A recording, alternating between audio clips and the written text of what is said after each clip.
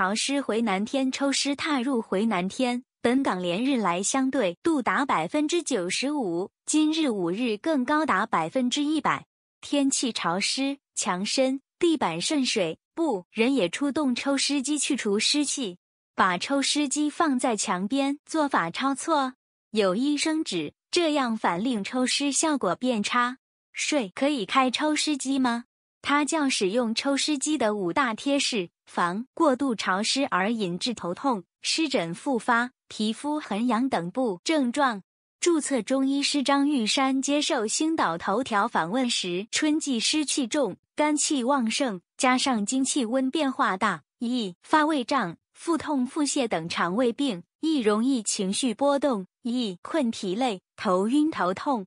本港天文台预测。今日五日相对度最高为百分之一百，本周连续数日有几阵雨，九天天气概况下，外科医生姜坤俊在中表示，使用抽湿机也有诀，甚至连摆放位置也有讲究。他教五大正确使用湿机的方法，有助增强抽湿效果。抽湿机正确使方法一：抽湿机勿放在墙边。应放在家中正中央抽机。正确使用方法二：抽湿机湿度设定为六十至百分之六十五。抽湿机确使用方法三：睡觉时不开抽湿机。原因：睡觉期间时间抽湿会把皮肤表面水分抽走，令面部皮肤裂。抽湿机正确使用方法四：开抽湿机时要关闭门。抽湿机正确使用方法五。定时清理抽到的积水，天潮湿容易引发湿疹。根据本港生属资料，一旦现湿疹症状，可以如何缓？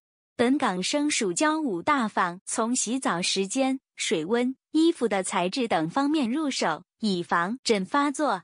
资料来源：相关文章。星岛速王一周年生日送大礼，正举行问卷调查，参加有机会获得足金串饰。Rasonic 电饭煲、英皇电影礼券及田超市现金券，点击答问题赢大奖。星岛申诉王出全新项目“区区有申诉”，并增设“我要赞曲”栏目，诚邀市民投稿赞扬身边好人好事，共建更有爱区。